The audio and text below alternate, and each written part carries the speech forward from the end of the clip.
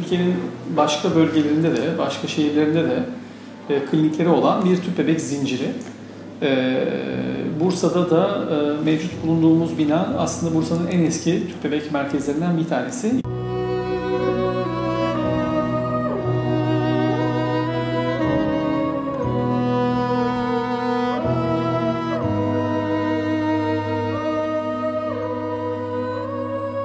Tüp bebek tedavisinde başarıyı etkileyen en önemli faktörlerden biri embriyoloji laboratuvarınızın kalitesidir.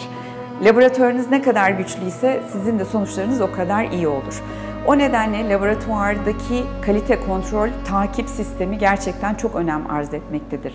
Seçecek olduğunuz emri, e, tüp bebek kliniğinin laboratuvarının nasıl olduğunu, ne tür bir teçhizatının olduğunu, teknolojiyi takip edip etmediğini, ekibinin ne kadar tecrübeli olduğunu bu konuda bütün bunları mutlaka değerlendirip ondan sonra e, karar vermenizi önermekteyiz.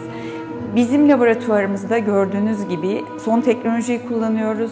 Bütün aletlerimizin kontrolleri günlük olarak yapılmakta, bakımları sürekli takip edilmekte.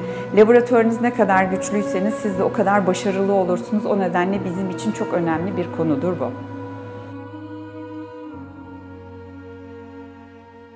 Embriyoları farklı özelliklerine göre biz sınıflıyoruz ve gebelik ihtimalinin en yüksek olduğunu düşündüğünüz embriyoyu doğru zamanda o anda hastanın da yani kadının da e, rahminde, görünürde ya da kendisinde bir problem yoksa transfer işlemi yapıyoruz. Yani oluşan embriyoyu hastanın rahmin içine naklediyoruz.